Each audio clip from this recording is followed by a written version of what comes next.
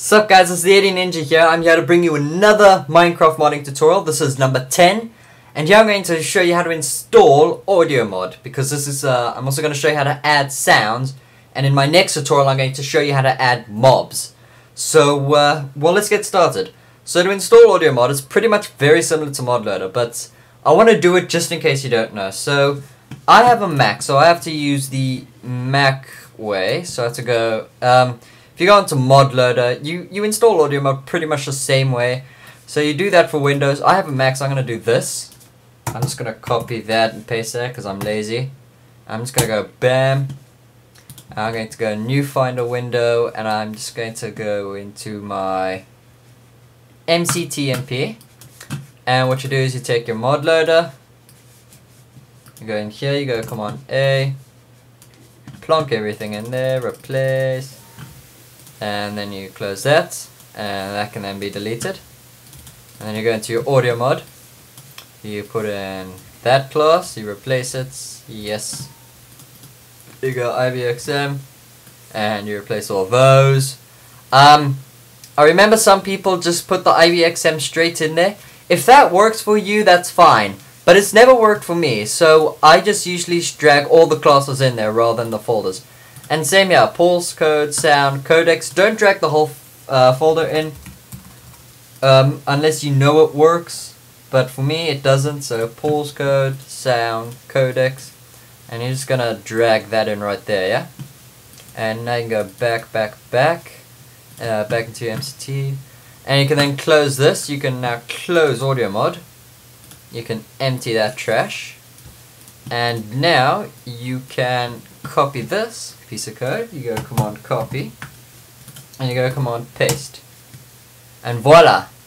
So now, if you go to your Minecraft, um, mine's in library, application support, Minecraft. I don't know where yours is, if you have a Windows or a Mac or anything. So if you go bin here, and now you have your Minecraft draw.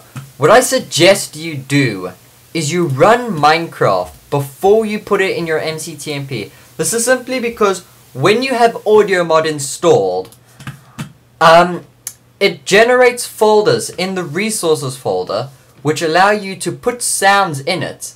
But it's best for you to generate them first and then. So just wait till it starts making sense. So it's generating the folders now. You see, I'm not make there's no sound coming out of it. I don't know if you can hear. I can't hear anything, but um, as soon as the sound starts working again on Minecraft, then you know it's generated those folders. But until then, please do so. Um, uh, with me, with MCTMP, um, sorry, not MC, with MCP, with Minecraft Coder Pack, what would happen is, okay, there goes, making some sounds. What would happen is it wouldn't generate the folders, and then it would say it, it could not, it could not find the file, and then when I try to put my sounds in, stuff happens, uh, stuff happened, and it didn't work for some reason. Okay, so, we've done that. Now, we've still got our old MCP, and we still got all our sources and stuff. Now, we don't want to actually destroy our sources. We want to keep our mod underscore and our other uh, block thing. So what we do is we just drag them out here, and I think block test block or something. I don't know. Um, I think we yeah block all storage or no. Is that it? I'm not sure. Okay, just hold on a sec. Let's find out here. Um, equals new block, new items. Yeah, okay, that's fine. Okay, here we go. Here's where we make all our Amazonet and stuff. Item. New item, new item X, new item uh, da da da. I think it's with our blocks. Yeah, new block Amazonet. Okay, there we go. So we want to look for block Amazonets. And we also want to take our uh, enum tool material out as well. Alright, so now we've got those three out. We're going to drag those back in when we get our MCP running again. So what we do is we go back to, uh, go back, back, back, uh, back, and we go into our sources, and you open up terminal or whatever you use to run it and you just go cd I have to locate it so I go cd I drag in the location I go bash and I go clean up. And now it's gonna clean up. Uh, hopefully. No such file or directory. Okay, let's retry that. Bash cleanup. No such file or directory. Okay, cd. Oh, it's uh, going to this mcp. Now, if we go bash clean up, it'll work. And voila. And just type in yes. So this is basically just setting up your MCP, uh, installing audio mod. So this is what you have to go through, and I want to do it because I'm going on holiday soon, guys, and unfortunately I won't be able to make tutorials for the next week. And then after that, it's another four days, and then I've got school, and I'm probably going to be able to make tutorials only like once every one or two weeks. So I don't want to get your hopes up because making mobs is going to take a few tutorials, and I don't want to go halfway, stop for the next three weeks and then only come back onto it because that'll get me lost, it might get you lost, so I'd rather show you how to set it up first. So, we've got this done, so we can uh, leave that there for now. So if we go into our jars, we see we've got all these. Delete them all, except, be careful now, server.properties. Leave that in there.